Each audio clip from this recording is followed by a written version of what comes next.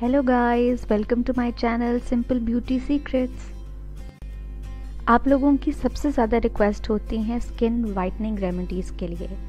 So today I am here with the seven day skin whitening treatment but start करने से पहले मैं आप लोगों को रिमाइंड करा दूँ to subscribe my channel because you don't want to miss amazing videos by simple beauty secrets So, let's start now making this amazing remedy.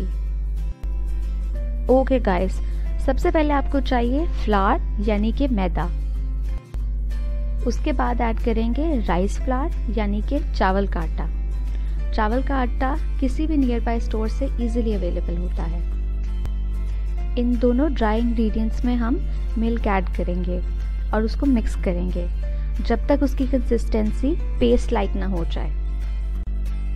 Now our mixture is ready to apply इसको आपने scrub नहीं करना।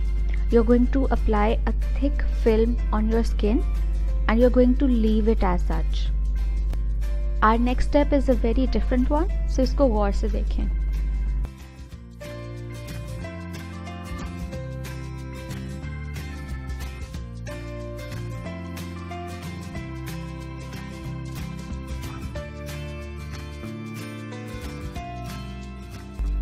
एक tissue या cotton pad लें और उसे milk के अंदर डिप करें।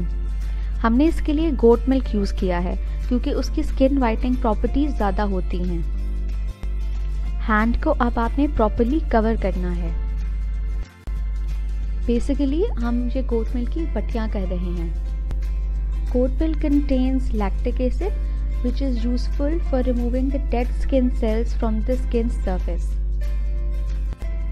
This leaves new cells on the skin, which makes the skin more softer and younger looking. You have to use this remedy for 7 days continuously. 7 days के end पे you will notice कि आपकी skin पहले से बहुत ज़्यादा white हो गई होगी this remedy is one of my personal favourite once मेरी स्किन जब भी टैंड हो जाए, मैं हमेशा ये रेमेडी अप्लाई करती हूँ एंड बिलीव मी इसके आउटस्टैंडिंग रिजल्ट्स होते हैं So friends, do try this remedy if you want a fair and glowing skin. I will be back with another amazing video.